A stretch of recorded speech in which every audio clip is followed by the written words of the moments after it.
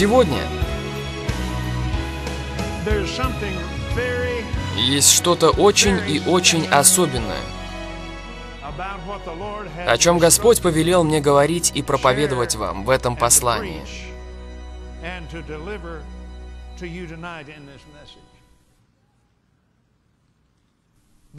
Господь составил его для меня. И в течение многих лет в течение определенного времени я проповедовал о различных его аспектах различными способами, в частности, говоря о главном благословении и говоря о Божьей любви. Но сегодня вечером ко мне пришло слово от Господа в отношении этого. Оно горело в моем духе весь день и продолжает гореть и сейчас. Это просто ликование Божье.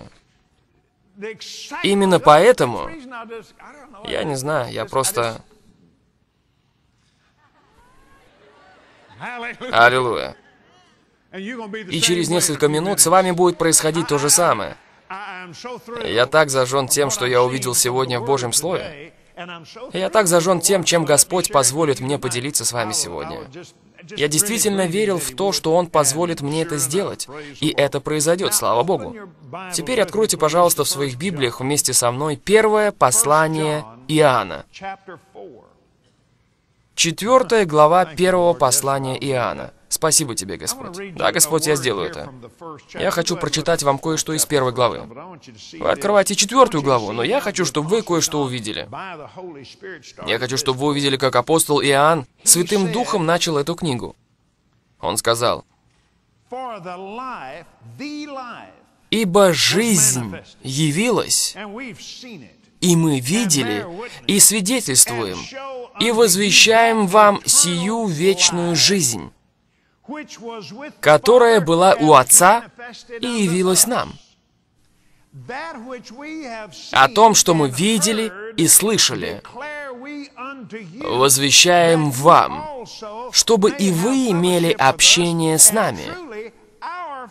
А наше общение с Отцом и Сыном Его, Иисусом Христом, помазанным. А теперь взгляните на четвертый стих. «И сие пишем вам, чтобы радость ваша была совершенна». Аллилуйя. «Чтобы радость ваша была совершенна». Слава Богу. Аминь. И мне не нравится стоять здесь вверху. Мне нужно спуститься сюда вниз. Слава Богу. Аминь. Чтобы радость ваша была совершенна. И вы помните, радость пред Господом подкрепление наше. Радость — это небесный продукт. Радость была рождена в вашем духе, когда вы были рождены свыше. И слишком многие христиане опечалены, измотаны, подавлены, измождены.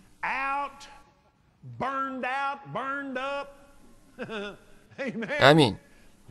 Все время. В то время как внутри вашего духа есть что-то, называемое радостью Господней. И радость не зависит от вашего комфорта. Она не зависит от ощущения счастья вашей плоти. Оно не зависит ни от чего, кроме любви, Божьего Слова, силы Божьей любви. Аллилуйя. Аминь. Вы можете быть полны радости верой. Вы можете просто начать со слов.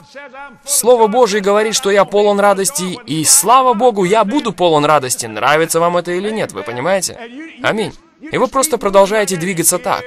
И вот она. Тут как тут. И не только это.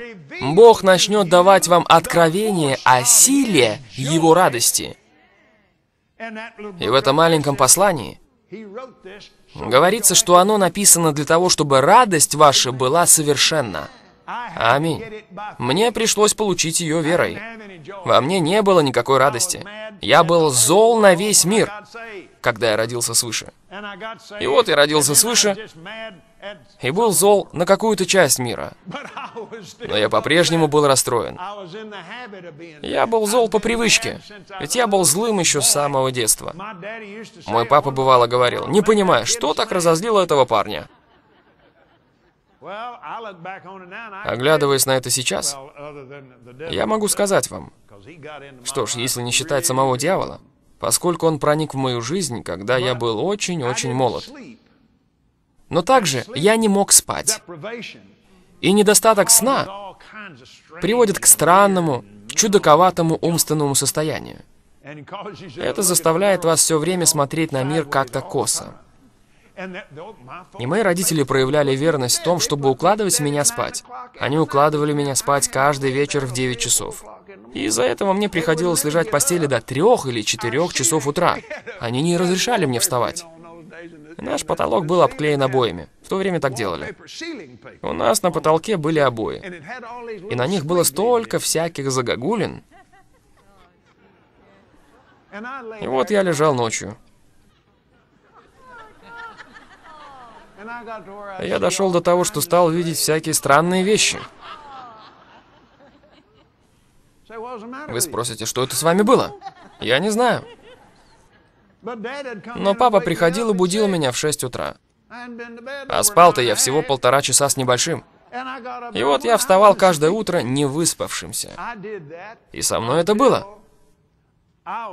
Мне уже было за 40 когда я научился спать верой. Случались всякие странные и непонятные вещи. И забавнее всего то, что я научился видеть всякие фигурки в рисунке этих обоев на потолке. И у меня по-прежнему это получается. Я могу войти в комнату и могу разглядеть на обоях все, что угодно. И бывают столы с гранитной столешницей, и вы удивились бы, сколько там можно увидеть собак и котов в этом гранитном камне. Слава Господу. Поскольку там столько всяких маленьких точечек. И там можно разглядеть пуделей, говорю вам, там коты, собаки, змеи. Все, что вы только можете себе представить. И это не потому, что я странный. Просто я так долго практиковался, что уже не могу смотреть на это и не видеть всего этого. Но в конце концов, я нашел 126-й псалом, где говорится, что Он дает возлюбленному своему сон, и что напрасно вы рано встаете и поздно просиживаете и едите хлеб печали. И мне пришлось научиться делать это верой. Спать? Я могу спать. Когда я обнаружил, насколько это прекрасно выспаться, я подумал, где все это время было это место Писания? Мне следовало делать это всю мою жизнь. Аминь. Это прекрасно. Я могу просто лечь и сказать, «Большое спасибо тебе, Отец. Я принимаю сон как подарок сегодня». Божье Слово говорит, что ты никогда не дремлешь. Зачем же нам обоим бодрствовать? Спокойной ночи. Я просто поворачиваюсь на бок и засыпаю. Сделайте то, что говорит делать Джесси Дюплантис. Возложите свои заботы на Господа, и Он скажет, «Спасибо тебе, Канет, я позабочусь об этом». И когда Иисус сказал, «Я позабочусь об этом», что ж, эта проблема решена, не так ли? Я говорю о радости Господней. Скажите, во имя Иисуса, я принимаю радость сегодня. Она во мне сейчас. Я возгреваю ее. Во имя Иисуса. Аминь. Хорошо. Это сделано. Давайте вернемся в четвертую главу. Обратите внимание на седьмой стих.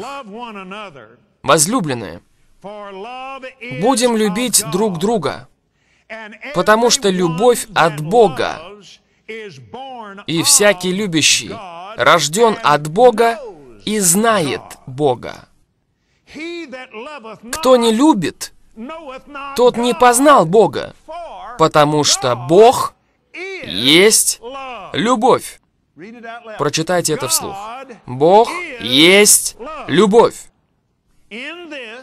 Любовь Божья к нам открылась в том, что Бог послал в мир единородного Сына Своего,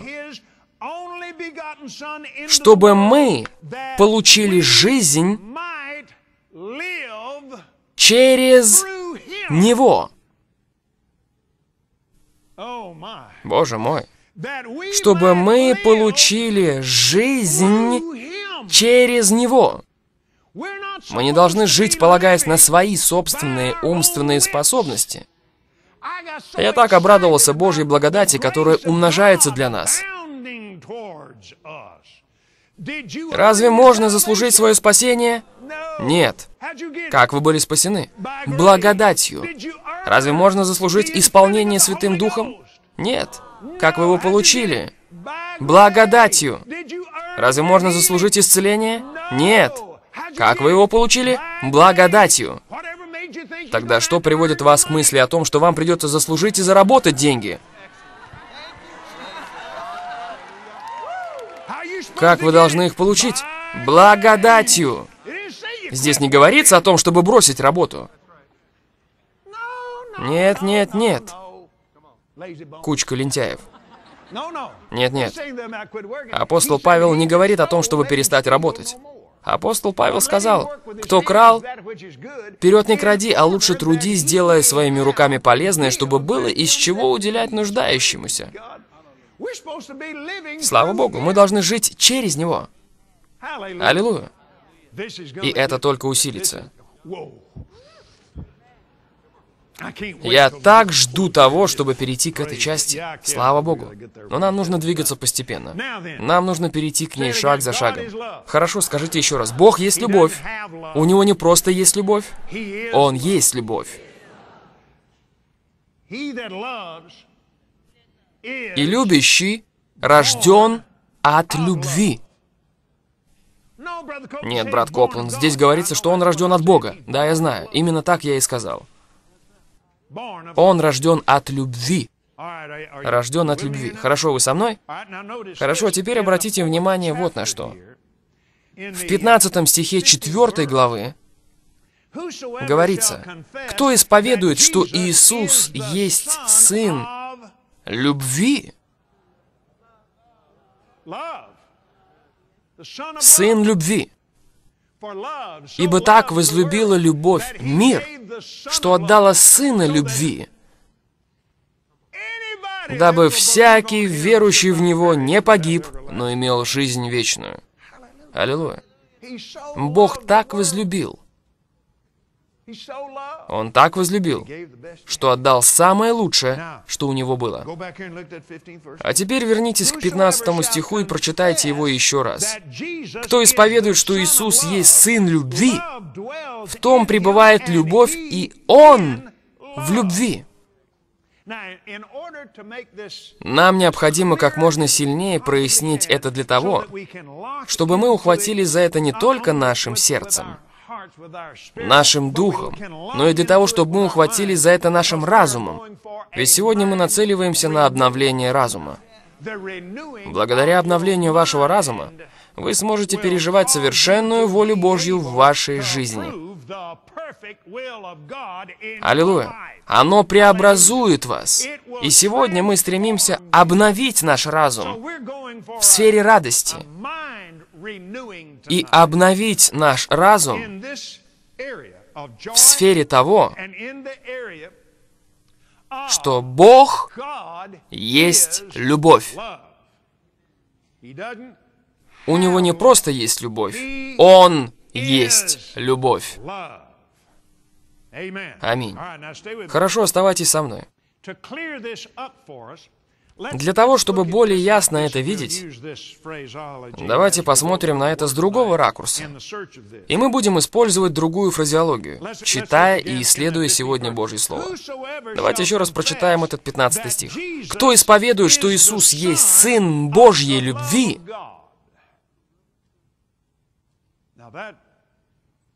Это действительно не знаю, но это действительно оказывает влияние на мое мышление. В том пребывает Божья любовь, и Он в Божьей любви. И мы познали любовь, которую имеет к нам Бог, и уверовали в нее. Бог есть любовь, и пребывающий в любви Божьей пребывает в Боге, который есть любовь. Это вам помогает? Хорошо, следите внимательно. Любовь Божья до того совершенства достигает в нас,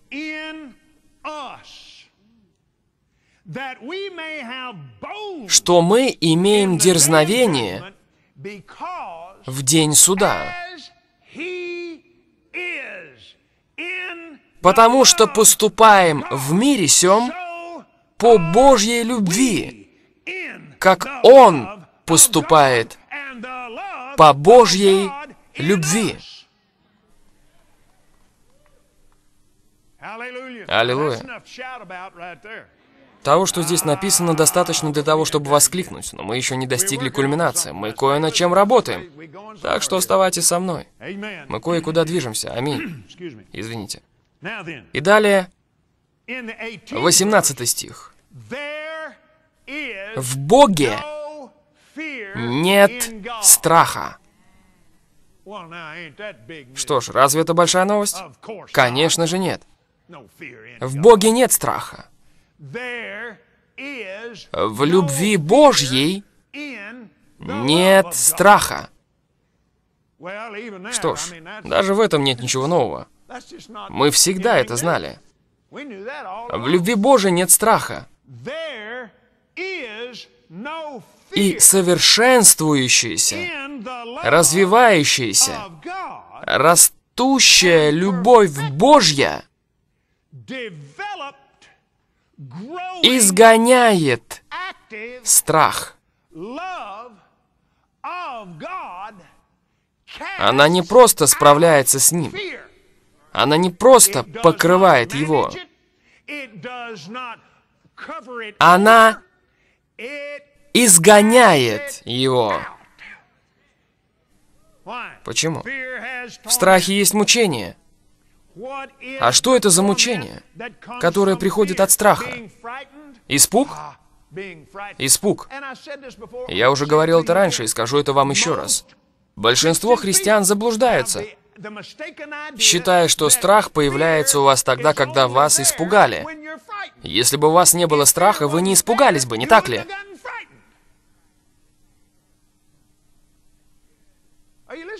Вы меня слушаете? Вам просто необходимо это усвоить. Потому что страх является грехом.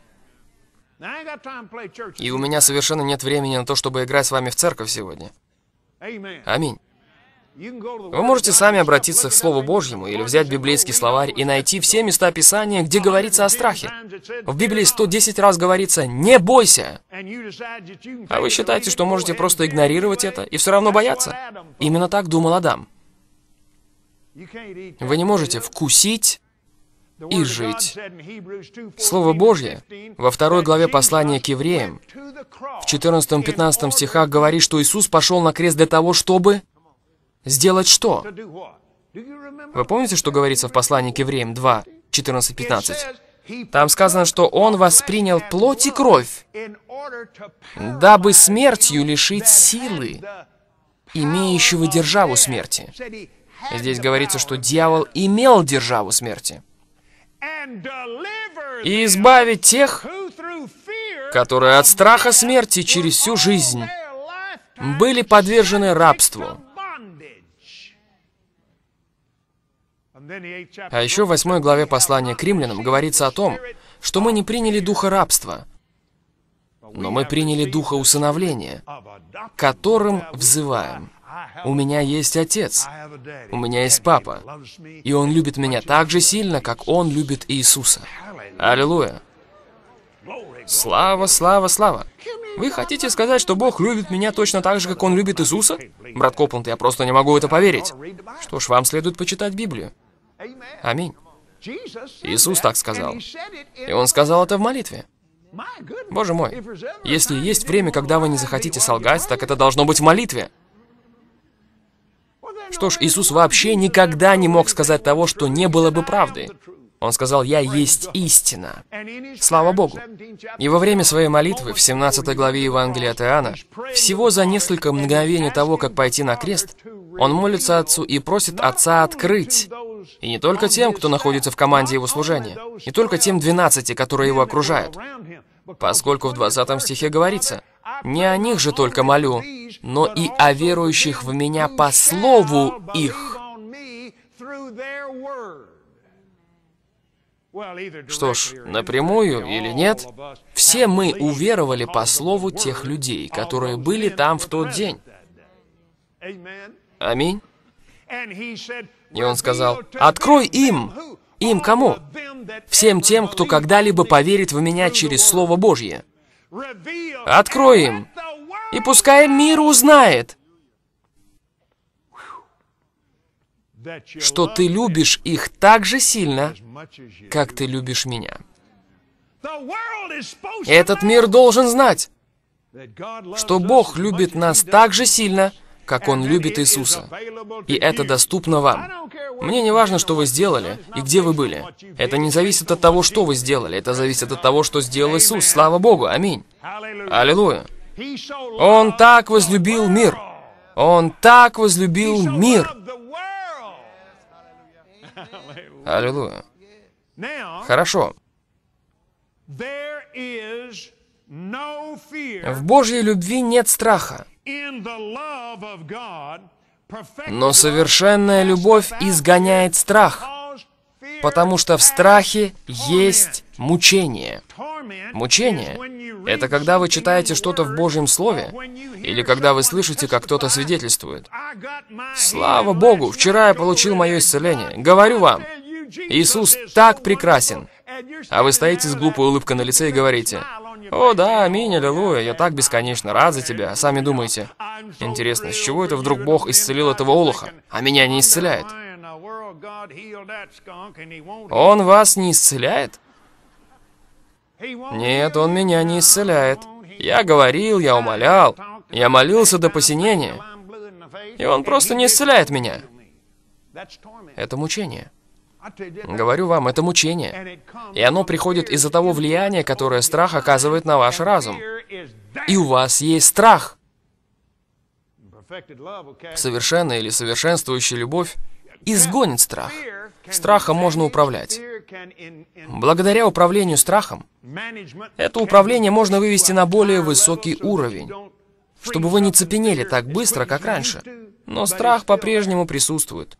Только Божья любовь может избавиться от него и прогнать его. Другим способом от него не избавиться. Вы можете сделать это через покаяние. Именно поэтому первое послание Иоанна начинается с инструкции о том, как каяться верой. Там говорится, что Иисус верен и праведен. И Он просто простит нам наши нарушения заповеди любви, когда мы их исповедуем.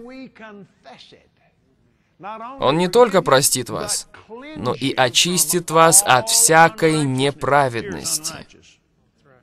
Страх — это неправедность. Страх не должен присутствовать в жизни верующего человека. Если вы покаетесь и сделаете это верой, что ж, надеюсь, что я почувствую себя лучше, вы полностью промахнулись.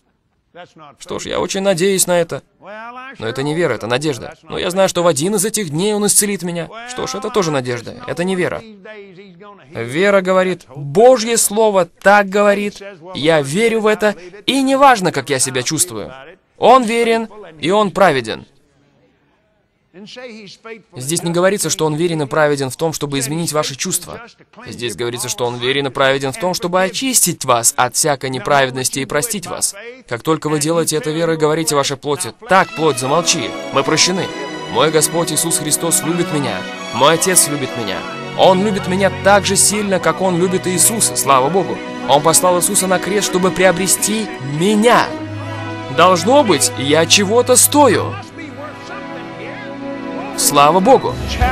В 15 стихе 4 главы 1 послания Иоанна говорится, «Кто исповедует, что Иисус есть Сын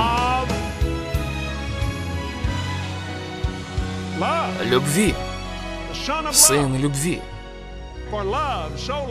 Ибо так возлюбила любовь мир, что отдала Сына любви, дабы всякий верующий в Него не погиб, но имел жизнь вечную. Аллилуйя. Бог так возлюбил, Он так возлюбил, что отдал самое лучшее, что у него было. А теперь вернитесь к 15 стиху и прочитайте его еще раз. Кто исповедует, что Иисус есть Сын любви, в том пребывает любовь, и Он любви. Нам нужно как можно сильнее прояснить это для того, чтобы мы ухватились за это не только нашим сердцем, нашим духом, но и для того, чтобы мы ухватились за это нашим разумом. Ведь сегодня мы нацеливаемся на обновление разума. Благодаря обновлению вашего разума вы сможете испытать совершенную волю Божью в вашей жизни. Аллилуйя. Оно преобразует вас. И сегодня мы стремимся обновить наш разум в сфере радости. И обновить наш разум в сфере того, что Бог есть любовь. У него не просто есть любовь, Он есть любовь. Аминь. Хорошо, оставайтесь со мной. Аминь. Извините. И далее, 18 стих. В Боге нет страха. Что ж, разве это большая новость? Конечно же нет.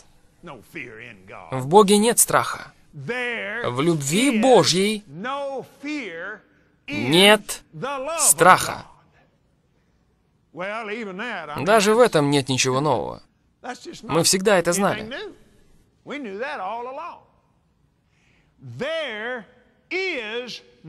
В любви Божьей нет страха of God and perfected,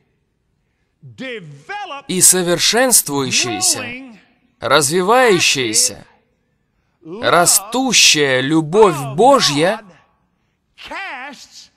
изгоняет страх. Если вы когда-либо нарушали заповедь любви, значит страх присутствует в вашей жизни.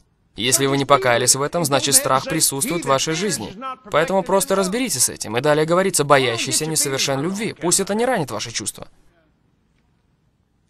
Это своего рода сигнал, как красная предупредительная лампочка на передней панели вашей машины. Если она начинает мигать, сделайте что-нибудь. Но перестаньте просто сидеть и смотреть на нее. Ведь она подает вам сигнал о том, что ваша машина вот-вот сломается. Вам лучше съехать с трассы прямо сейчас. Но я не знаю, почему это происходит в моей машине. В ней всегда мигает эта красная лампочка. Мне казалось, что с этим разобрались, прежде чем я забрал машину из автосалона. Это звучит глупо и бессмысленно. Но насколько глупее и бессмысленнее говорить? Наверное, это покаяние для меня не сработало. Ведь сегодня я мучаюсь точно так же, как и вчера. Что ж, выходит, Иисус солгал по этому поводу. Выходит, нам это не нужно. Вы не понимаете мои книги? Нет, нет. Поскольку во мне нет никакого страха. Я знаю, как от него избавляться, слава Богу. Даже если он попытается подкрасться ко мне, я тут же останавливаюсь и говорю, «Господь, во имя Иисуса я знаю, что Ты любишь меня так же сильно, как Ты любишь Иисуса». Я принимаю твою любовь. У меня есть отец. У меня есть папа. Я возлагаю на тебя все мои заботы. Ты позаботишься об этом. Слава Богу. Аминь. И затем просто повернитесь на другой бок и засыпайте. Если проснете страхи, то встаньте и возьмите Библию. Библия говорит, боящийся несовершен любви. Если я нарушил заповедь любви во имя Иисуса, я каюсь в этом. Открой мне. Если нужно, я исправлюсь. Я сделаю все, что необходимо. Но духа страха не будет в моей жизни. Ты не украдешь мою радость. Нет, я этого так не оставлю. Если мне придется прийти к вам домой и покаяться, слава Богу. Если это необходимо, сделайте это. Исправьте ситуацию, исправьте положение. Но самое главное — это прийти перед Иисусом и исповедовать это как грех, а не как проблему. Конечно же, это проблема. Но этому нет никаких оправданий.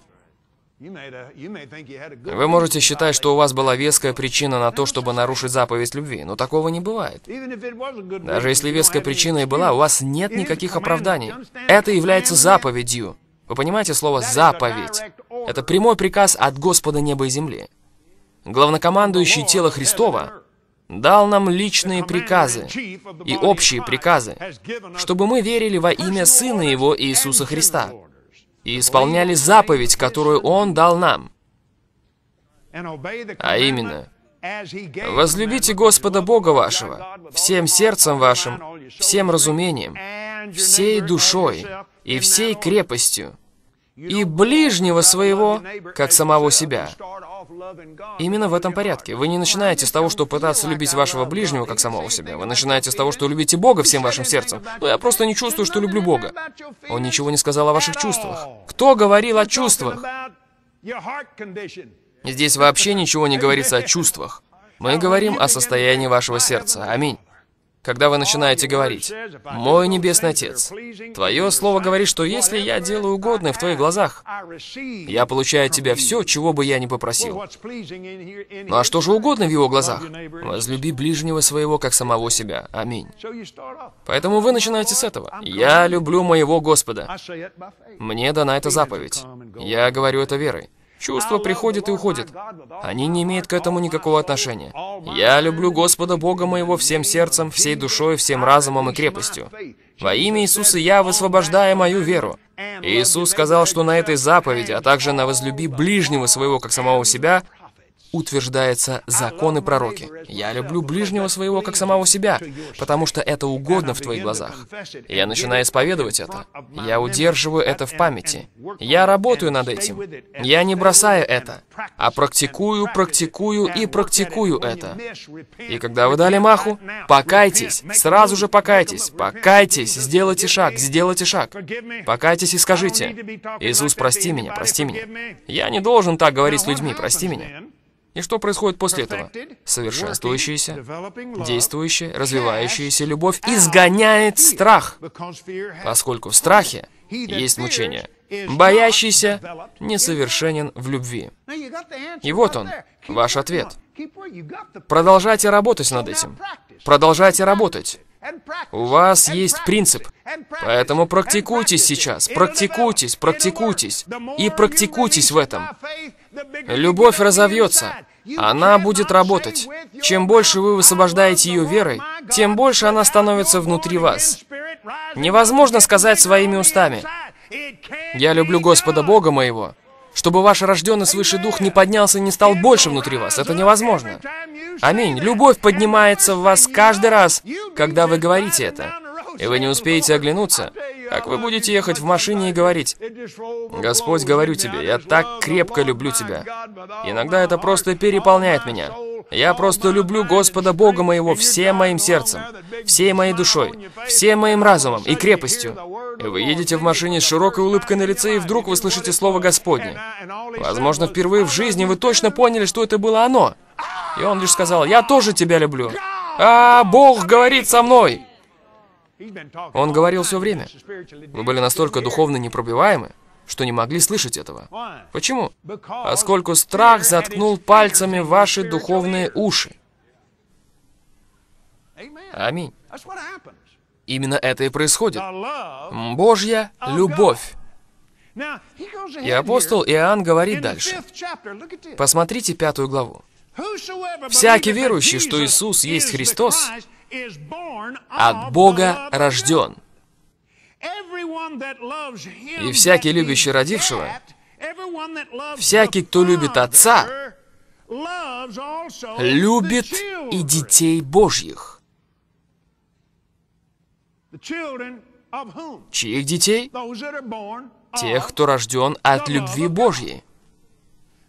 И мы читаем дальше, что мы любим детей Божьих, узнаем из того, когда любим Бога, который есть любовь, и соблюдаем заповеди Его.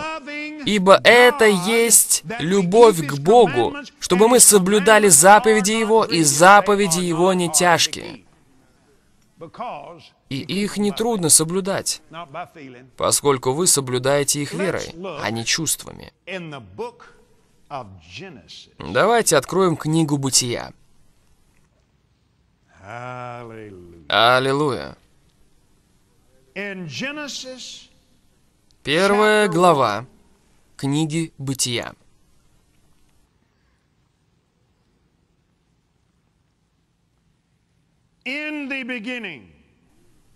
В начале любовь Божья сотворила небо и землю. В начале Бог,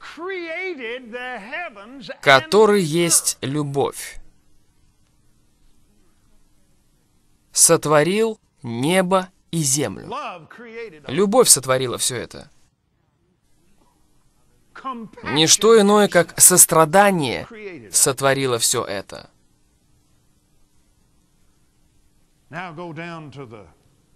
А теперь посмотрите 26 стих.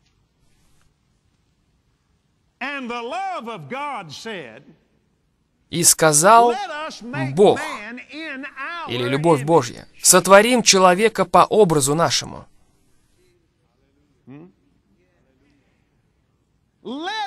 Сотворим человека по образу любви.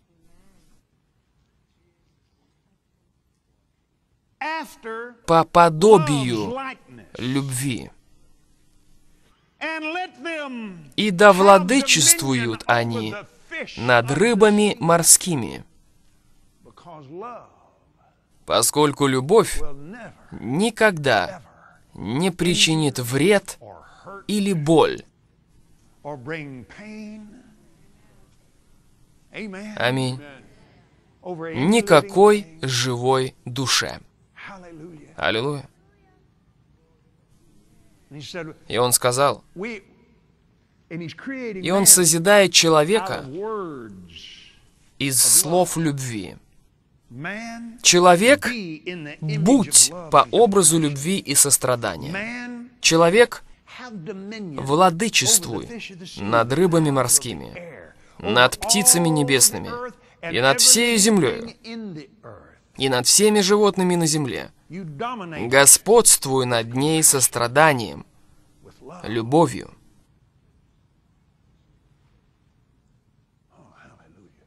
Аллилуйя. И затем в 28 стихе. Боже мой. И вот этот человек стоит. Он сотворен по подобию Божьему, который есть любовь. Он не сотворен для того, чтобы иметь страх. Он не сотворен для того, чтобы болеть. Он не сотворен для того, чтобы иметь проклятие. Он не знает, что такое смерть.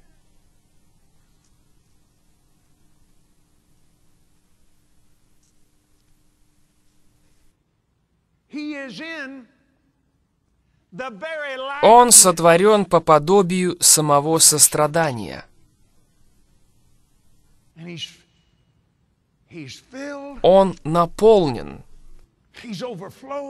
И любовь в нем переливается через край до такой степени,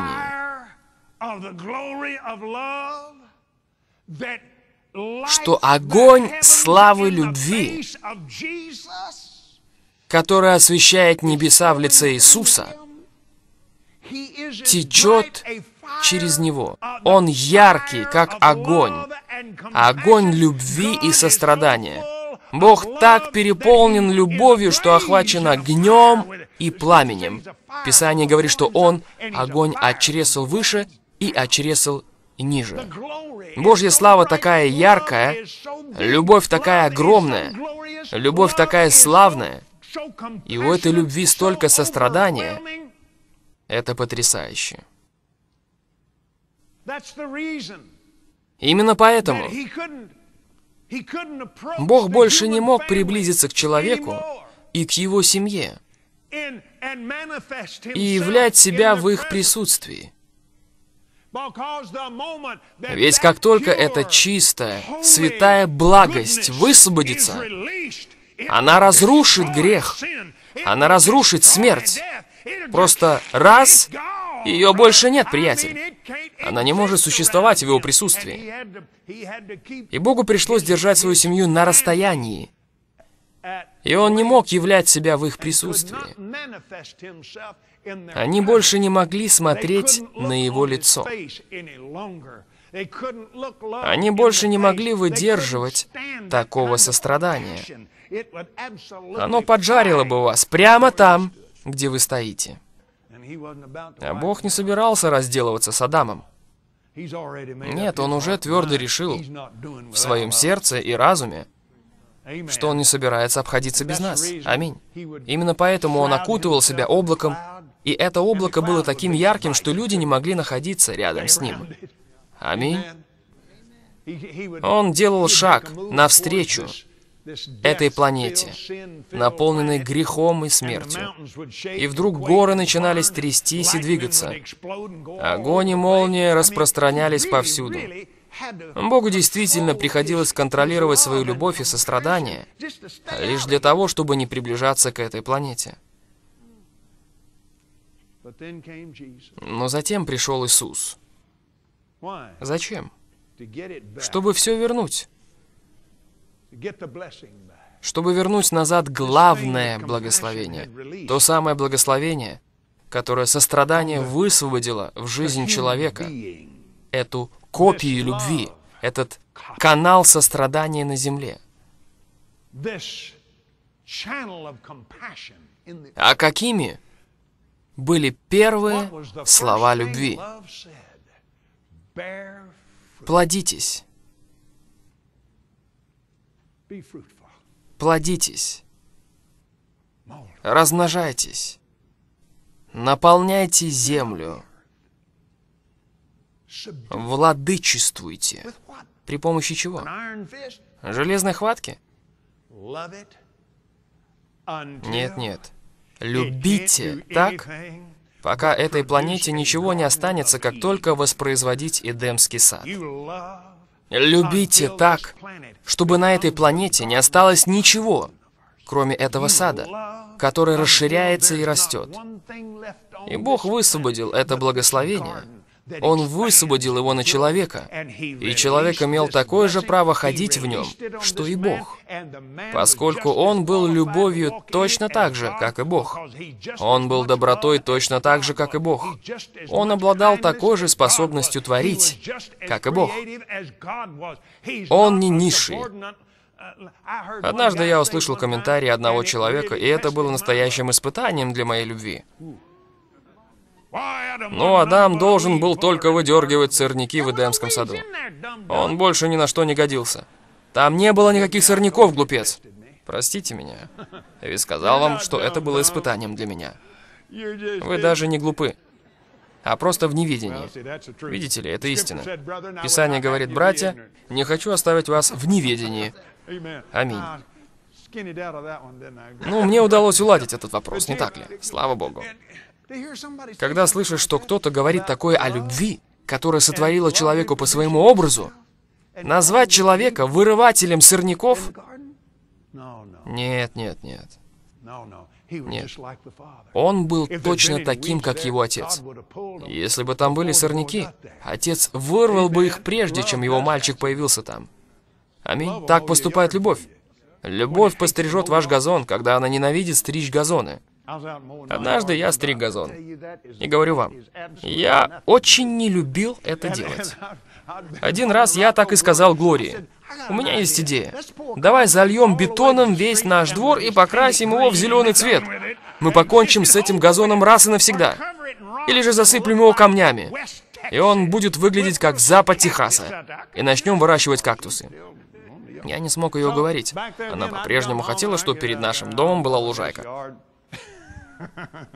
И в те времена я возвращался домой и начинал стричь газон вокруг дома. Что ж, мне не нравилось это занятие, но как-то я стриг свой газон, и ко мне пришло слово Господне. Когда ты закончишь со своим газоном, пойди к соседям и постриги их газон. Я сказал, ты что, шутишь? Я не собираюсь этого делать. Хватит того, что мне приходится стричь этот. Я не собираюсь идти туда и стричь их газон. Бог сказал, когда ты закончишь стричь свой газон, пойди к соседям и постриги и их газон. Я сказал, Господь, что эти люди подумают? Они выглянут из окна, а тут я стригу их газон, ты шутишь? Господь сказал, когда ты закончишь стричь свой газон, пойди к соседям и постриги и их газон. Я ответил, да, как только я закончу здесь, я сразу же пойду стричь их газон. Я закончил подстригать траву у себя во дворе так быстро, как только мог, и не выключая мотор у газонокосилки, перебежал к ним во двор и продолжил стричь их траву. И Бог сказал, а теперь ступи своей ногой на эту землю и востребуй спасения этой семьи. Что ж, я ходил туда-сюда по их газону и поразглашал их спасение. Это был единственный раз в моей жизни, когда я с наслаждением стриг траву. Но радость Господня поднялась во мне тогда, и я постриг их газон, затем занялся своими делами и напрочь забыл об этом. Через несколько недель к нам дверь постучали. Я увидел, что это была моя соседка. И когда я открыл дверь, она тут же стала мне проповедовать. Она мне проповедовала, что из силы, а я то и дело успевал говорить «Аминь», и не мог понять, что это вдруг с ней произошло. И я назвал ее по имени и сказал, «Подождите минутку, подождите минутку!» Она сказала, «Хорошо». Я сказал, «Во-первых, я верю каждому вашему слову». Я продолжил, «Мы с Глорией служим Господу Иисусу Христу». Она сказала, «О, это прекрасно! Позвольте, я расскажу вам, что произошло с нами в нашей церкви несколько дней назад. Говорю вам, брат Копланд!» И она опять набрала воздуха и начала проповедовать. Они ходили в небольшую пресвитерианскую церковь неподалеку, и вдруг в эту небольшую пресвитерианскую церковь приехала команда миссионеров, и практически вся церковь пережила рождение свыше и крещение Духом Святым. И вот моя соседка горит для Бога и решила завоевать для Христа весь наш район. Что ж, у меня на это не хватало времени. Но кто-то должен был это сделать. Она начала проводить библейские занятия для маленьких детей всего нашего микрорайона. Аллилуйя. Аминь. Что случилось? Любовь. Любовь. Благодаря послушанию Богу и высвобождению Божьей любви, Божье сострадание способно было двигаться и позаботиться о том, чтобы она, ее муж, ее дети были в церкви, когда туда приехали миссионеры. Видите ли, Бог знал, что Он сделает это. Я не знал, что он сделает это. Мне пришлось научиться не спорить, а просто с улыбкой на лице делать все, что он говорит мне делать. И когда он говорит мне делать это. Ведь вы получите больше радости, делая это, чем что-либо другое, поскольку любовь заботится об этом. И что произошло в этом случае? Благословение пришло в действие. Когда я ступил ногой туда, на их двор, Божье благословение пришло в действие. И это благословение начало двигаться и функционировать, поскольку главное благословение является состраданием, высвобожденным на Адама для того, чтобы распространять Эдемский сад по всей планете, предваряя детей, которые родятся на ней. Мой Небесный Отец, Твое Слово говорит, что если я делаю угодное в Твоих глазах, я получаю от Тебя все, чего бы я ни попросил. Ну а что же угодно в Его глазах? Возлюби ближнего своего, как самого себя. Аминь. Поэтому вы начинаете с этого. Я люблю моего Господа. Мне дана эта заповедь. Я говорю это верой. Чувства приходят и уходят, они не имеют к этому никакого отношения. Я люблю Господа Бога моего всем сердцем, всей душой, всем разумом и крепостью во имя Иисуса. Я высвобождаю мою веру. Иисус сказал, что на этой заповеди, а также на «возлюби ближнего своего, как самого себя», утверждается весь закон и пророки. Я люблю ближнего своего, как самого себя, потому что это угодно в твоих глазах. Я начинаю исповедовать это. Я помню об этом, я работаю над этим, я не бросаю это, а практикую, практикую, практикую это. И когда вы дали маху, покайтесь. Сразу же покайтесь. Покайтесь, сделайте шаг, сделайте шаг. Покайтесь и скажите, «Иисус, прости меня, прости меня. Я не должен так говорить с людьми. Прости меня. Да, но вы не понимаете, как этот старый недотепа говорил со мной. Что ж, этот старый недотепа не имеет никакого отношения к вашему спасению. О, да, брат Копланд. Но слышали бы вы этого старого расиста? Какого расиста? Который меня оскорбил. Когда? В 1939 году. Боже мой. А вы говорите об этом так, как будто это было вчера. Этот страх терзает вашу жизнь с тех самых пор, как это произошло. И он все еще работает в вашей жизни. А тот расист уже умер и пошел в ад. Зато страх по-прежнему работает в вас. Работает в вас. Да, но он сказал, что я глупый. И так далее, и так далее. Что ж, вы глупы? Нет, я не глуп. Тогда перестаньте верить его словам. Избавьтесь от этого. Покайтесь в этом и избавьтесь от этого. Аминь. И что происходит после? Совершенствующаяся, действующая, развивающаяся любовь изгоняет страх, поскольку в страхе есть мучение. Боящийся несовершен в любви. Хорошо совершенствующаяся любовь, любовь и сострадание Божье. Давайте откроем пятую главу послания к римлянам. Пятая глава послания к римлянам. Аллилуйя. Вы готовы? Римлянам 5.5. А надежда не постыжает, потому что любовь Божья излилась в сердца наши Духом Святым, данным нам.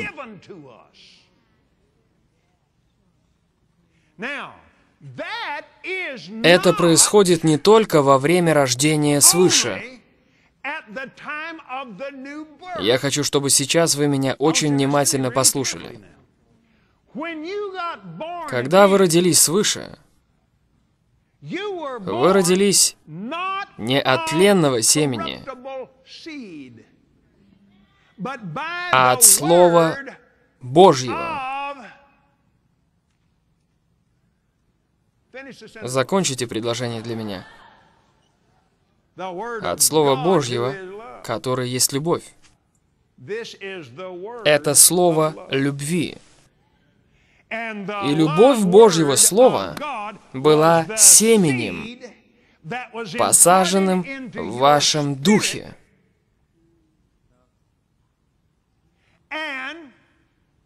Вы были рождены свыше, и плод этого семени родился в вашем рожденном свыше человеческом духе. Слово Божье говорит о том, что вы были пересотворены во Христе Иисусе. Все древнее прошло. Теперь все новое. И ваши внутренние духовные органы, я не знаю, как по-другому сказать это, и передать вам смысл того, о чем я говорю. Конечно же, у вас есть физические органы. А как у вас появились ваши физические органы? Из ДНК. Вашими родителями было посажено семя. Вы явились результатом этого семени. И вот у вас есть глаза, уши, нос, легкие и все другие различные органы, которые совершают работу в вашем теле. Что ж, когда вы были рождены от Духа Живого Бога, и Его ДНК находится в вашем Духе, и внутри вашего Духа есть духовные органы, И внутрь вас были вложены любовь, радость, мир, благость, кротость, доброта, воздержание, долготерпение. Все эти качества являются характеристиками любви. Они в вас. А что произошло с вами, когда вы крестились Святым Духом?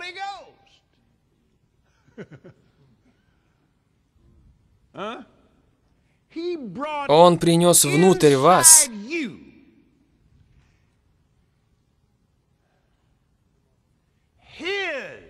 свою любовь, свою радость, свой мир, свою праведность. Да, они были в вас. Вы родились от Него. Вы родились от Его Слова. Вы были чадом любви Божьей, рожденной от Бога. Но затем к вам был представлен Учитель, который поселился внутри вас, внутри вашего физического тела. И Он дает вам преодолевающую силу благословения сила, которая была на Адаме, это та сила, которая пришла жить внутри вас. Аллилуйя. Вы помните, как я говорил вам, что согласно Писанию, Бог — это огонь от чресла выше и от ниже, и что Ему приходилось окутывать себя облаком, Израильтяне видели этот огонь ночью. Они видели его вдалеке, и они следовали за ним, куда бы он ни двинулся. Тот же самый огонь, согласно 4 главе 2 послания Коринфянам, освещает небеса в лице Иисуса. А что насчет Дня Пятидесятницы?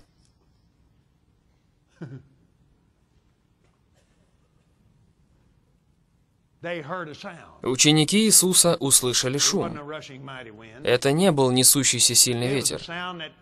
Это был шум, как будто от несущегося сильного ветра. Что это было? Что это был за шум? Его можно было услышать только в Иерусалиме? Нет, нет. Его можно было услышать в любом уголке этой планеты. Видите ли, когда Адам согрешил, тогда всем ангелам, которых Бог сотворил для того, чтобы наполнить эту планету, чтобы помогать и служить тем, кто наследует это благословение, всем этим ангелам пришлось подняться и убраться отсюда. А все те, которые не ушли, находятся на стороне врага. Божьим ангелам пришлось уйти отсюда.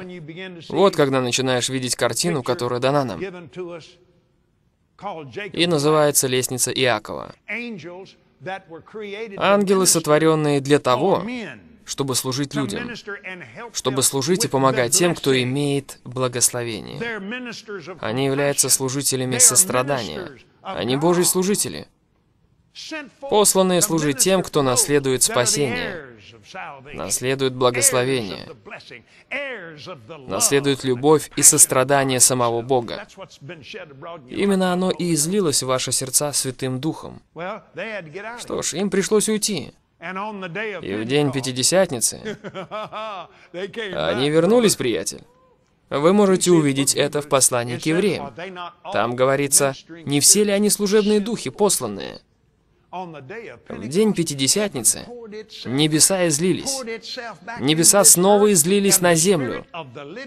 И Дух живого Бога пришел в ту горницу.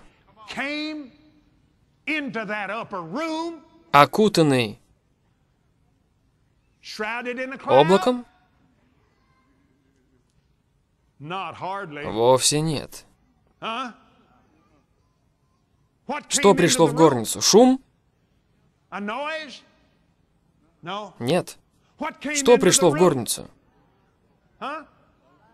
Да, это был Дух Святой. Но они не сказали, «О, посмотрите, Дух Святой!»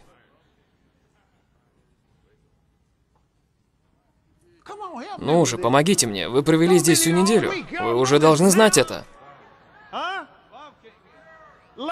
Пришла любовь. Но что они увидели? Огонь. Бога во всей его пламенеющей славе. Он даже не пытался скрыть ее. Он не пытался спрятать ее. Он пришел туда во всей силе, во всей крепости. Он пришел туда и почил на них. Он просто сидел на них.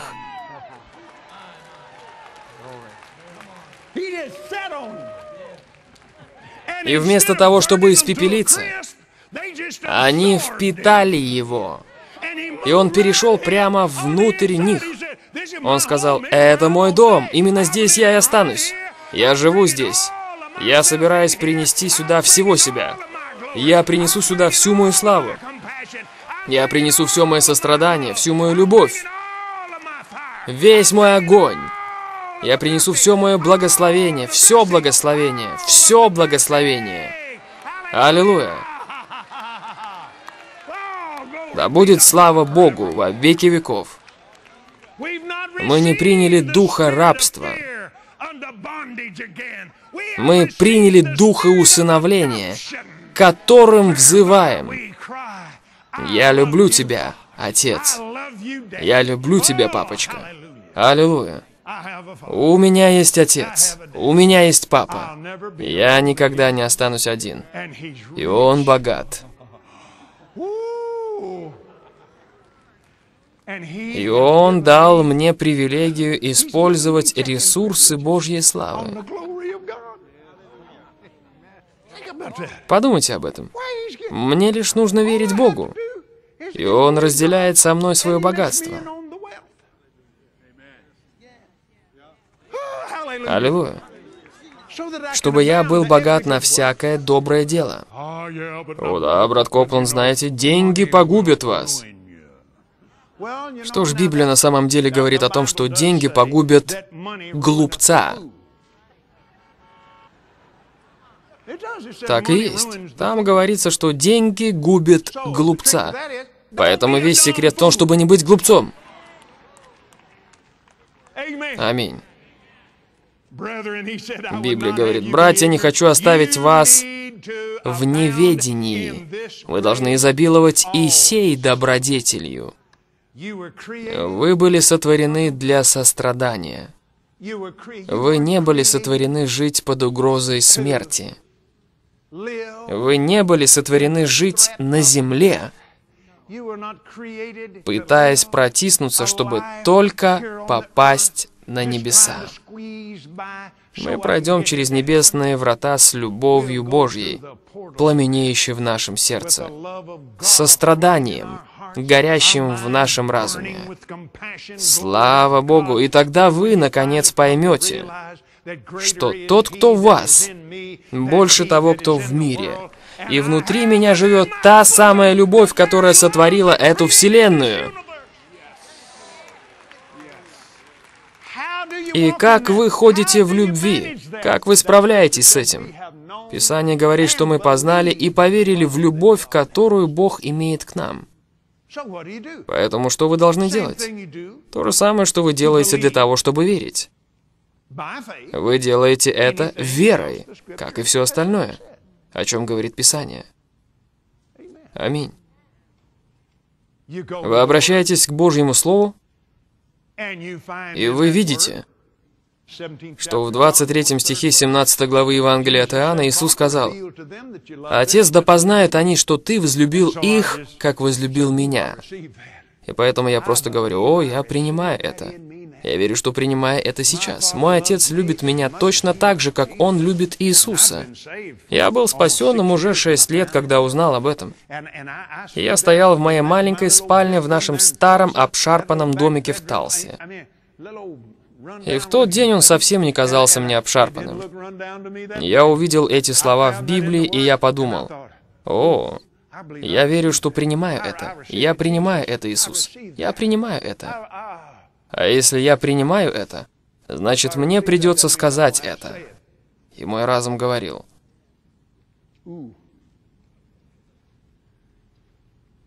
Кем ты себя возомнил, чтобы стоять здесь, перед Богом Всемогущим, и говорить своими устами, что Бог любит тебя?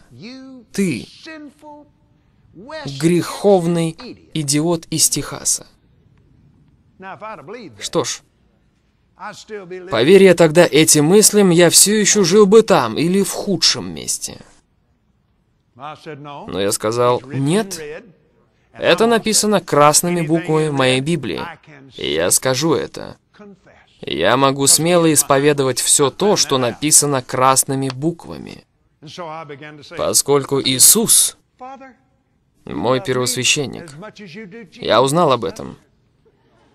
Я начал говорить это. Я сказал, «Отец, ты любишь меня точно так же, как ты любишь Иисуса». Я знаю, что это так, потому что так сказал Иисус. И я сказал это еще раз, и еще раз, и еще раз, и мои колени перестали трястись. Я снова сказал это. И к тому моменту я уже ходил по своей маленькой комнатке. Три или четыре шага сюда и три или четыре шага туда. Я ходил туда-обратно. Сказал, о, боже мой, я верю, что принимаю это. Я принимаю это точно так же, как я принял спасение. Я исповедую это перед Богом. Мой Небесный Отец любит меня точно так же, как Он любит Иисуса. Я принимаю это. Я вложил это в свои уста. И постоянно говорил это. Я садился в машину и говорил, «О, Господь Бог, сегодня я поведу эту машину. И ты любишь меня точно так же, как ты любишь Иисуса, слава Господу. И ты поедешь вместе со мной. Мне не нужно садиться в машину и говорить, «О, Боже, пожалуйста, будь со мной». Он сказал, «Я не оставлю и не покину тебя даже до скончания века. Просто сядьте в машину и скажите, «Поехали, Иисус». Ведь наш Отец любит нас, не так ли? Аллилуйя. Просто садитесь в машину и поезжайте. Что ж, я начал делать это, и наконец Господь сказал, «А почему ты не дочитал эту главу до конца?»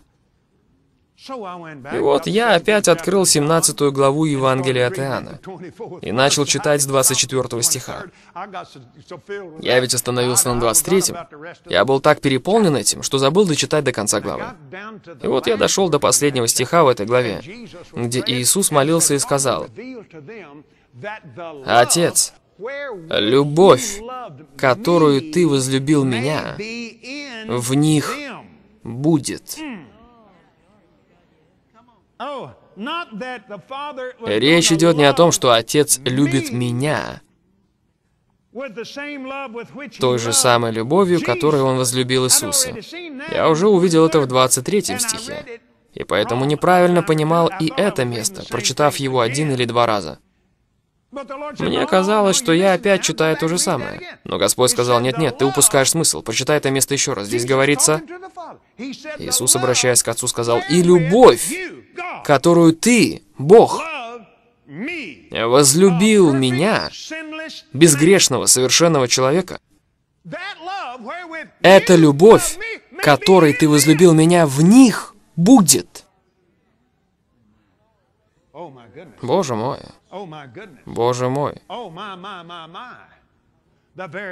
Та самая любовь, которая сотворила эту вселенную, та самая любовь, внутри меня с тех пор, как я родился свыше, живет учитель, гид, руководитель и сила. Само благословение живет внутри меня и наделяет силой мой дух своим духом.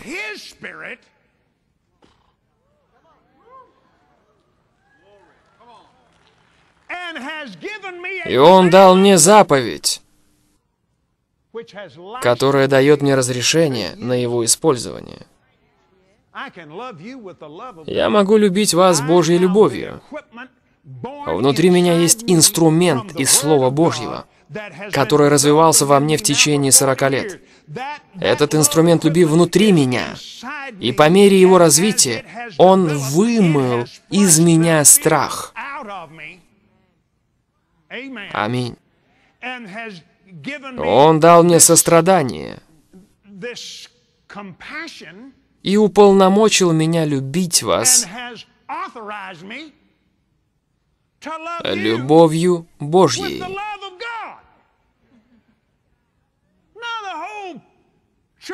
Вся церковь, а особенно пятидесятнические и харизматические круги, та часть церкви, которая крещена Духом Святым и говорит на иных языках, говорит об этих вещах уже долгое время.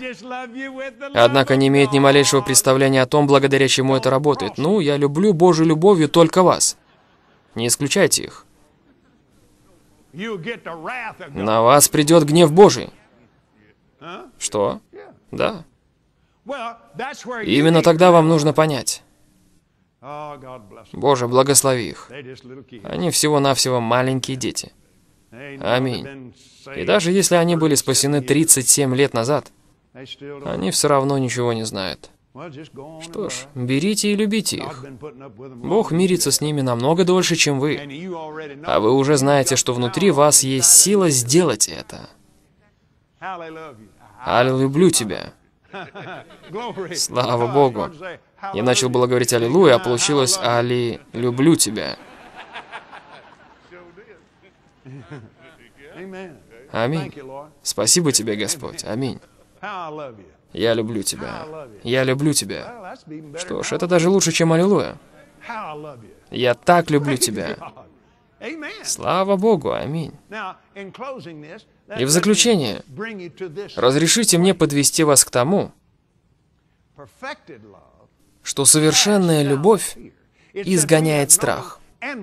Здесь говорилось о том, что мы познали и уверовали в ту любовь, которая теперь в нас. Вы приняли ее, потому что вы видите это в Слове Божьем. Сейчас я принимаю внутри себя ту любовь, которой Ты возлюбил Иисуса.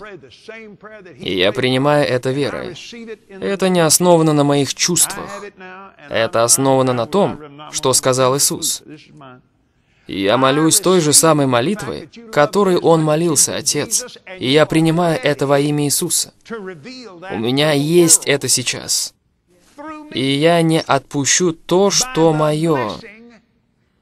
Я принимаю тот факт, что ты любишь меня точно так же, как ты любишь Иисуса. И ты готов открыть это миру через меня благословением Адама, которое стало благословением Авраама, которое сейчас посредством креста Иисуса стало благословением Церкви. Благословение Авраама распространилось на язычников через Христа Иисуса. И я принимаю это. Я принимаю Твое Слово, которое говорит, что Слово Божье никогда не терпит поражения. Мы закончим на этом. Поэтому откройте первое послание Коринфянам. Это по-настоящему откроет вам глаза. Это по-настоящему откроет вам глаза. Аминь. Это место неверно понималось очень долгое время. Об этом проповедовалось много хорошего. Но до тех пор, пока вы не поймете всего того, о чем мы говорили сегодня, у вас не хватит мудрости понять, о чем же на самом деле говорится в этой главе.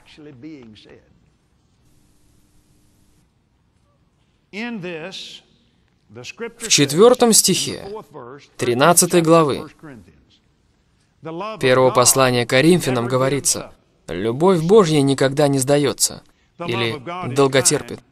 Божья любовь добра, Божья любовь не завидует, Божья любовь не превозносится, Божья любовь не напыщена, Божья любовь не ведет себя неприлично, Божья любовь не ищет своего, Божья любовь не раздражается, Божья любовь не мыслит зла. Божья любовь не радуется неправедности. Божья любовь радуется истине. Божья любовь все переносит, она всему верит. Божья любовь всего надеется и все выносит, поскольку в Божьей любви нет страха. Это по-настоящему откроет вам глаза. Это по-настоящему откроет вам глаза. Аминь. Это место неверно понималось очень долгое время. Об этом проповедовалось много хорошего. Но до тех пор, пока вы не поймете всего того, о чем мы говорили сегодня, у вас не хватит мудрости понять, о чем же на самом деле говорится в этой главе.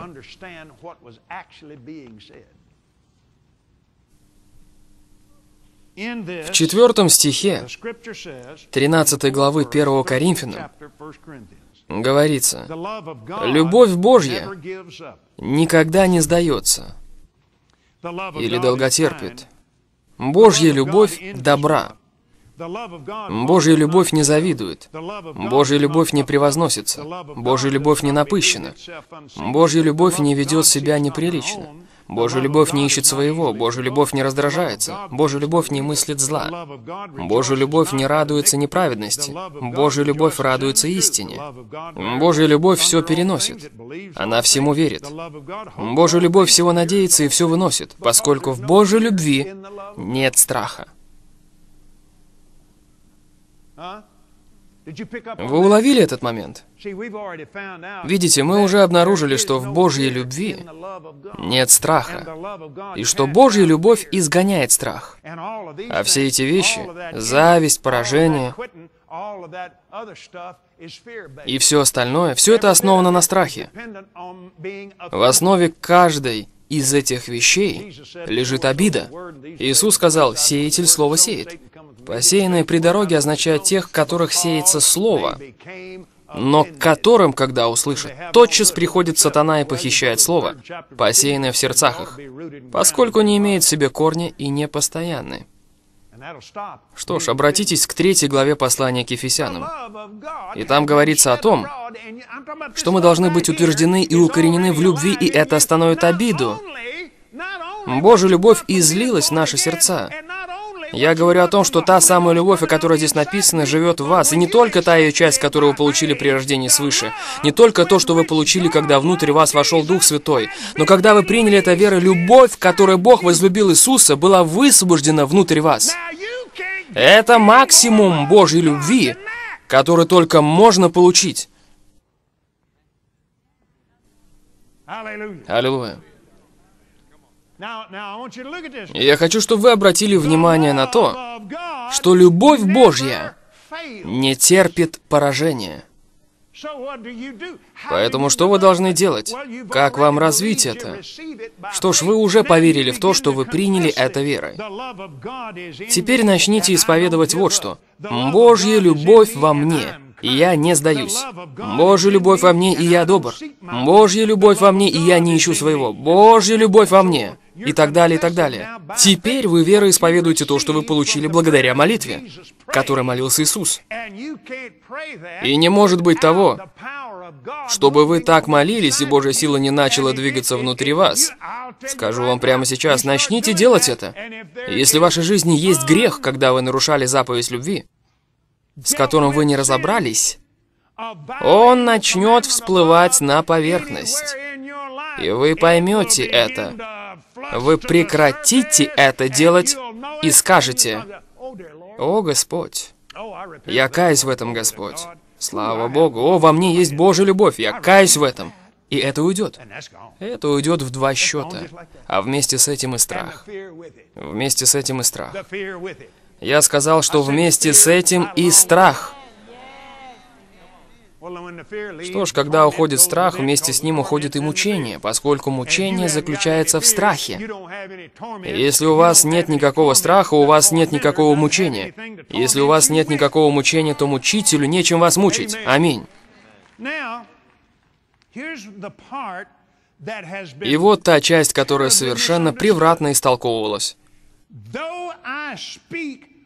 Если я говорю языками человеческими и ангельскими, а любви в действии не имею, здесь ничего не говорится о том, что у вас вообще нет Божьей любви. Она излилась в ваше сердце Духом Святым, верно? Безусловно. Но, если вы пытаетесь действовать верой в проявлении даров Духа, не покаявшись в нарушении заповеди любви, тогда ваше говорение на иных языках бесполезно, поскольку это действует любовью Божьей. И она в вас, но вы ее заглушили.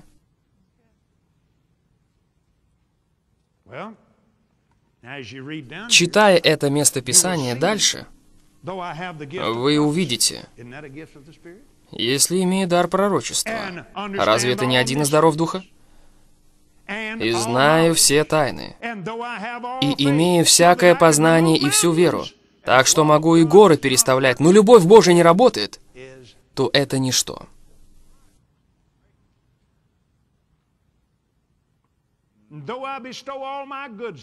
Если я раздам все имение мое и отдам тело мое на сожжение, я сею, я сею, сею, сею, я плачу десятину, плачу десятину и плачу десятину. Я даже отдаю свое тело. Я служу в церкви каждый раз, когда ее двери открыты. Я столько всего делаю, я тружусь в этой церкви день и ночь. Только все равно ничего не работает, брат Копланд. Почему?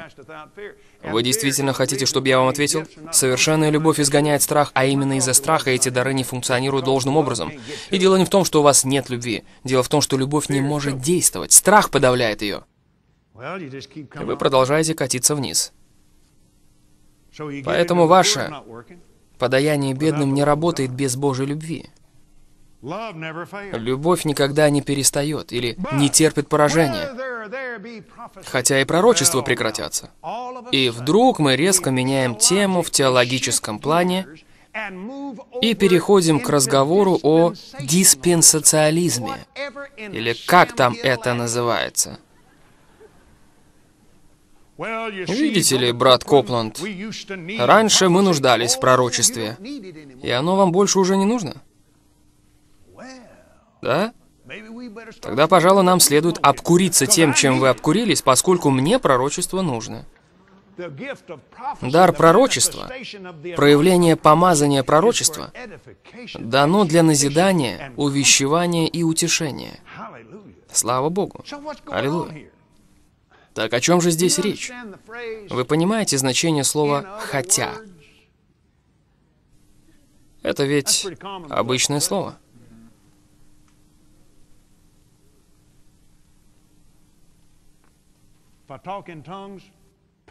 Если я говорю на иных языках, пророчествую, имея всякое познание, плачу десятину, без Божьей любви это не приносит мне никакой пользы. Почему? Потому что Божья любовь не сдается. Божья любовь добра.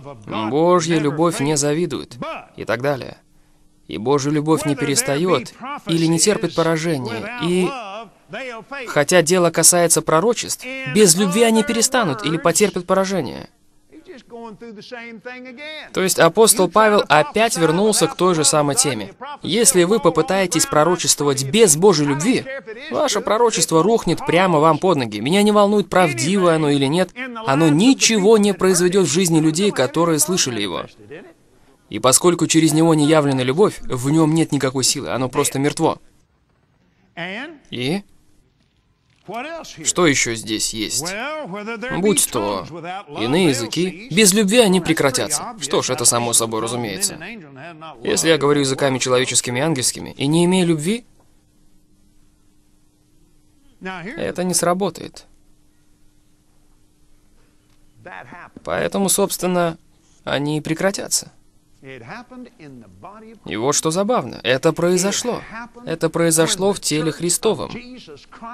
Это произошло, когда Церковь Иисуса Христа так зациклилась на себе, что начала страдать ради Бога и начала проповедовать о том, что Бог приносит страдания. Верующие отрезали себя от израильского народа, они отрезали себя от записанного Божьего Слова, они отрезали себя от Ветхого Завета, и у них не было совершенно никаких знаний о Боге, о Его любви, о Его сострадании, о Его Слове. Они упрятали Божье Слово где-то в монастырях и запретили людям читать его. И что произошло? Все прекратилось. Они прекратили пророчествовать. Они прекратили служить в дарах Духа. Ну, ведь в конце концов все это прошло. Будь то языки, без любви они умолкнут. Будь то знание, без любви оно упразднится. Поскольку без любви мы лишь знаем отчасти. Без любви мы пророчествуем отчасти. Но когда настанет совершенное,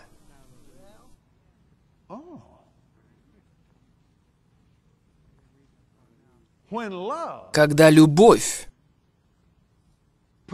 совершенная любовь проявится в моей жизни, я перестану видеть отчасти. Я начну видеть. Боже мой. Однако люди спорили и вели войну по этому вопросу, хотя апостол Павел только что все разъяснил, прежде чем начал говорить об этих вещах. Но без Божьей любви вы не способны это видеть. И вам хорошо известно, что без Божьей любви здесь, на земле, вы сможете видеть не иначе, как только через тусклое стекло, гадательно. Простите меня, но Откровение Слова Божьего просвещает. Аллилуйя. И говорю вам, в этот день и час, Словом Божьим и Словом любви, страх вымывается отсюда, и стекло проясняется. Все проясняется. И все эти годы оно должно было быть кристально чистым действием Духа Святого. И мы, наконец, наконец, наконец. Вы скажете, вы утверждаете, что апостол Павел говорит, что он лишь видел отчасти? Нет, я этого вовсе не говорил. Потому что он не видел лишь отчасти. Он сказал вам о том, что произойдет, если церковь не будет действовать в Божьей любви. Верующие двигались в дарах Духа, и они заявляли, «Так говорит Господь, Иисус проклял». Они несли всякую чушь и всякий вздор. И апостол Павел сказал, «Верующие, до тех пор, пока вы продолжаете вести себя как дети, и среди вас есть духовное разделение, я не могу вас учить, я не могу ничего сказать. Другими словами, без Божьей любви вы не можете ничего видеть, кроме как отчасти, потому что вы еще младенцы, младенцы, младенцы». Он начал свое первое послание к Коринфянам, с того, что объяснил им, в чем была их проблема. И вот великий учитель, великий учитель любви говорит им, «Когда я приду к вам, я не смогу учить вас тому, чему я хотел вас учить, поскольку вы не способны воспринимать это. Вы все еще плотские. И это то же самое, как учить того, кто еще не рожден свыше. Что ж, разумеется, они видели, как сквозь тусклое стекло. Аминь. Вы видите, что здесь происходит? И здесь он учит их. Он наставляет их. Он сказал, когда я был младенцем, то по-младенчески говорил, по-младенчески понимал. Я был так же эгоистичен, как и все вы. Я мыслил по-младенчески. Но посмотрите сюда. Несколько недель назад мой внук проповедовал послание об этом, и говорю вам, он зажег меня. Я никогда этого не видел. Он сказал, когда я стал мужем, то оставил младенческое. Неважно, как давно вам исполнился 21 год. Если вы верой не оставите младенческое, то оно останется с вами до конца ваших дней. И вы умрете такими же плотскими, какими вы были в тот день, когда покаялись. О, это серьезно. Аминь. Аллилуйя. Апостол Павел сказал, «Я оставил младенческое». И именно это он и учит их делать. Отложите все это. Высвободите Божью любовь в вашем сердце. Давайте вместе к этому стремиться. Сейчас вы видите только отчасти. Сейчас вы слышите только отчасти. Вы не можете услышать всего, что я пытаюсь сказать вам. Вы не можете увидеть всего, что я пытаюсь вложить в вашу жизнь, поскольку вы погрязли в раздорах и разделениях. Вы по-прежнему плотские. Вы ведете себя и думаете как дети, как обычные, неизмененные люди. Но он говорит, ну же, отложите младенческое. Теперь мы видим как бы сквозь тусклое стекло гадательно. Тогда же лицом к лицу. Теперь я знаю отчасти, а тогда познаю подобно, как я познан. А мы взяли наш теологический карандаш и приписали. Это произойдет, как только вы попадете на небеса. Но апостол Павел и словом не обмолвился о небесах. Он сказал, как только любовь начнет проявляться в моей жизни, тогда я познаю подобно, как я познан. Как только любовь усовершенствуется в моей жизни, как только совершенное проявится в моей жизни, страх уйдет. Божья любовь поднимется внутри меня, и я начну видеть лицом к лицу. А разве не это произошло в день Пятидесятницы? Мы ведь не старая церковь. Мы не делимся на молодую и старую церковь. Они не были начинающей церковью, и мы не являемся завершающей церковью. Нет, то, что они начали, мы должны закончить. Но все это одна церковь Иисуса Христа. А теперь прибывают сии три. Вера. Спасибо тебе, Иисус. Да, слава Богу. Слава Богу. Я чуть было не пропустил это. Слава Богу. Возможно, вы ничего не вынесли для себя, зато говорю вам, я получаю колоссальное наслаждение. И посмотрите, что он сказал. Посмотрите, что он сказал. Посмотрите, что он сказал. Я познаю, подобно как я познан. Вы готовы? Всякий любящий знает Бога. Мы читали это. Это одно из тех мест, которое Господь сказал мне прочитать в первую очередь. Теперь я знаю, почему Он сказал прочитать его в первую очередь. Я закончу тем, что прочитаю его. Любящий. И используемое здесь слово по-гречески звучит как «геноска», что означает «близкие отношения». Это то же самое слово, которое переводится как «интимная связь». Любящий знает Бога. Кто не любит брата своего, тот не познал Бога. И любовь Божья открылась в том, чтобы мы могли жить через Него. Аллилуйя. Не говорите мне, что я должен попасть на небеса, прежде чем я смогу узнать Бога. Если я послушен Божьей любви, я могу знать Его прямо сейчас. Я уже знаю Его ближе, чем я знаю любого другого человека. Говорю вам, мы с Глорией ходим в этом месте. Мы ходим в Божьей любви вместе. Это самая могущественная вещь, которую вы только можете себе представить. Когда страх уходит, вам не нужно беспокоиться о ваших финансах, слава Богу. Однажды ночью я лежал на кровати, на моем лице сияла широкая улыбка, и я просто поклонялся Господу. Я сказал, Господь, о, слава Богу. Я пока что не хочу спать. Я просто хочу полежать и поразмышлять о тебе какое-то время, и... Слава Богу! И Он позволит вам прийти к Его престолу и понаблюдать за тем, как Он всем управляет. Он разрешит вам просто посидеть и побыть с Ним какое-то время. Как говорил Джесси Дюплантис, это время у Божьего престола. Именно там я был в тот вечер, и ко мне пришло слово Господне. Бог сказал, «Кеннет, я хочу тебя кое о чем спросить». Я сказал, «Да, Господь». Все это происходило внутри меня. Уберите страх, и вы сможете услышать это. И я сказал, «Да, Господь». Бог сказал, «Что случилось бы, если бы вдруг все твои партнеры перестали поддерживать твое служение, и твой доход просто прекратился бы. Я сказал, не знаю, да меня это и не волнует. Я не собираюсь об этом думать, Господь. Зачем мне об этом думать? Это относится к той сфере, о которой я не думаю. Нет, возразил он, я хочу, чтобы ты поразмыслил над этим. Я хочу, чтобы ты подумал об этом. Поэтому я начал прикидывать. Ну, если бы у меня не было никакого дохода...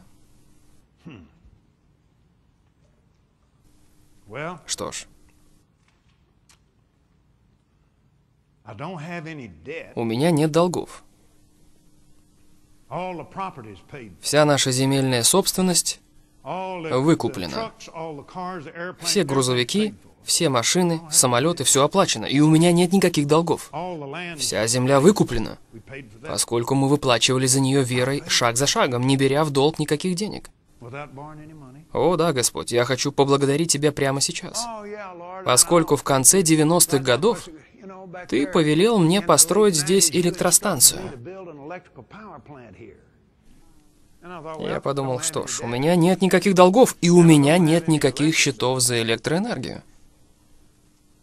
И у меня нет никаких счетов за воду, поскольку Господь дал нам колодцы на этой земельной собственности. И что остается? Посмотрим. Электричество, вода. Остается только канализация. Что ж, нет-нет, поскольку мы выкупили эту земельную территорию у морской пехоты Соединенных Штатов. И канализационное очистное сооружение уже было ими построено. Нам лишь пришлось верить Богу о 35-40 тысячах долларов. Мы переделали моторы на этих сооружениях и добавили еще один отсек. И благодаря этому у нас есть наше собственное канализационное очистное сооружение. И говорю вам, я уже готов кричать от радости посреди ночи. И, наконец, я сел на кровати и сказал, «Я точно знаю, что случилось бы. Ничего. Ничего. Мы с Глорией взяли бы наши Библии и отправились бы в путь. Мы знали, как мы получили это, и мы пошли бы и взяли бы еще чуть-чуть. Мы просто отправились бы проповедовать. Слава Богу. Просто отправились бы проповедовать. Единственное, что нам нужно делать, это верить Богу. На самом деле, мне даже не приходится верить Богу о пище на моем столе, поскольку Он дает хлеб в пищу. Аминь. Мне лишь нужно быть согласным проповедовать Евангелие. Если бы я сам взялся за дело 30 с лишним лет назад, я все испортил бы. Я даже не знал, что это произошло. Я не осознавал, что это служение в тот момент было способно функционировать самостоятельно. Я этого не знал. Я никогда не думаю, откуда придет то, что мое. Я лишь знаю, что я благословлен. И я полагаюсь на это благословение. Еще тогда я понимал, что благословение Авраама на мне – и я исповедую это. Благословение Авраама на мне. Благословение Авраама на мне. И Бог сказал, построй электростанцию. Что ж, я не знаю, зачем ему понадобилась электростанция, но я построю ее. Какое мне дело? Слава Богу, я построю электростанцию. Вы видите, что он делал? Аминь. Что ж, а это уж точно приведет вас в восторг. И неужели вы думаете, что дьявол может прийти ко мне и сказать, «О, говорю тебе, если ты не возьмешься за дело и не займешься сбором финансовых средств, то твое служение разорится, и тебе придется оставить служение. Я уже слышал эту песню, и я знаю последний куплет. «Мы победили!» Эти меня не напугаешь. Во мне нет никакого страха. Слава Богу. Если бы тем или иным способом кто-нибудь отобрал бы у нас всю эту землю, весь этот газ, все электричество, все эти самолеты, все эти машины и всю мою одежду, я спрятал бы достаточно Библии, которые никто не смог бы украсть. К тому же Слово Божие сокрыто в моем сердце, слава Господу. Мы с Глорией нашли бы, как проповедовать Слово Божье, и все это вернулось бы к нам, независимо от обстоятельств. Аминь. Говорю вам, независимо от обстоятельств. Аминь. Почему? Потому что человек Божий ко всякому доброму делу приготовлен. Человек Божий способен принять Божью благодать в избытке. Аллилуйя. Почему? Потому что Его любовь, Его сострадание и Его власть изобилуют в нас. Поэтому у нас нет страха. Мы не боимся обстоятельств. Мы не боимся людей. Мы не боимся дьявола. У меня нет никакого страха, слава Богу. Аллилуйя. Какой прекрасный образ жизни, и вы можете жить точно так же. Знаете, сегодня это так же живо в моем разуме, как и тогда, 40 лет назад, когда это произошло. Ко мне просто пришло откровение с небес, что на мою жизнь влияют не только слова веры, которые я говорю в моих молитвах, но хочу вам сказать, что на нее влияют все слова, которые выходят из моих уст. Нет такого понятия, как слова, которые не влияют на вашу жизнь. Иисус сказал, что вам придется дать отчет за все праздные, бездейственные слова. которое выходит из ваших уст. Слава Богу. Вам нужно научиться использовать наполненные верой слова и прокладывать победоносный курс для вашей жизни. Вкладывайте Слово Божие в свое сердце, в свои уста, держите его у себя перед глазами, вкладывайте его в свои уши, и говорю вам, слава Богу, оно осуществится. Вне всяких сомнений, поскольку Иисус так сказал. И сегодня мы предлагаем вам заказать для себя нашу книгу. Говорю вам, это просто удивительное слово с небес. Поэтому не отвергайте это. Не отвергайте это послание из-за какого-то религиозного, запутанного учения. Нет, нет, нет, нет, нет. Иисус уже сказал в своей молитве Отцу, «Ту славу, которую Ты дал мне, я даю им». Аминь. Отец, мы молимся за каждого телезрителя, за всех наших партнеров по всему миру. Твоя слава посреди нас, Господь, и в нас, и изливается из нас. И мы благодарим Тебя за нее. Мы прославляем Тебя за нее. Во имя Иисуса. Аминь. Скажите вслух. Во мне слава Божья. Скажите. Я принимаю познание славы и мудрость Божью для того, чтобы использовать и высвобождать ее. Вы сосуд Божьей славы. До завтра. А пока помните, что Иисус Господь.